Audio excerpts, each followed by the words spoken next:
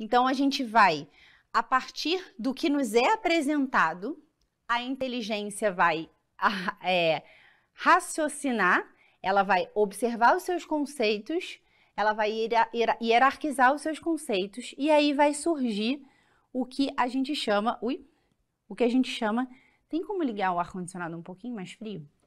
O que a gente chama de vontade. Então a vontade, ela é responsável por desejar, querer e agir.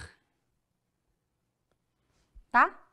Então, é a vontade que vai pegar esses conceitos e essa hierarquia que formou a inteligência e ela vai, bem, eu reconheço isso, eu desejo agir assim, porque eu vejo isso como um bem, eu quero, então eu, eu de fato é, coloco os meios e coloco os meus afetos e todas as minhas potências em orientação e aí de fato eu ajo.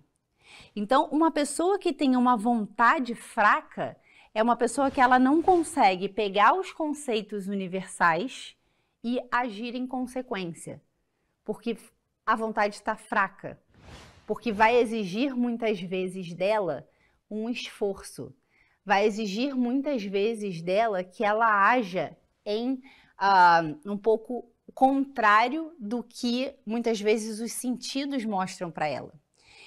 E os afetos, eles são formados a partir dos sentidos.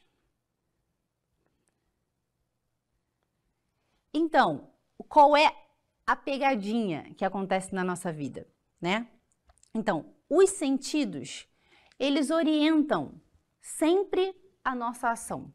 Então, nada há na inteligência que não tenha passado pelos sentidos.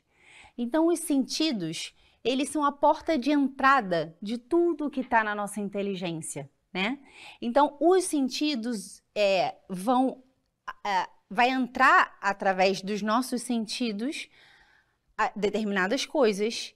E aí, quando, principalmente quando a gente é criança, mas também com a gente, o que acontece? A gente se aproxima de determinada coisa ou rechaça determinada coisa de acordo com o que os sentidos nos informam.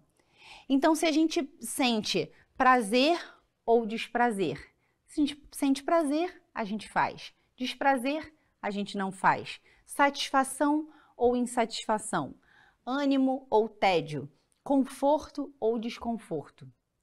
Então, através da sensibilidade, a gente vai tender a agir. Aí o que faz a inteligência?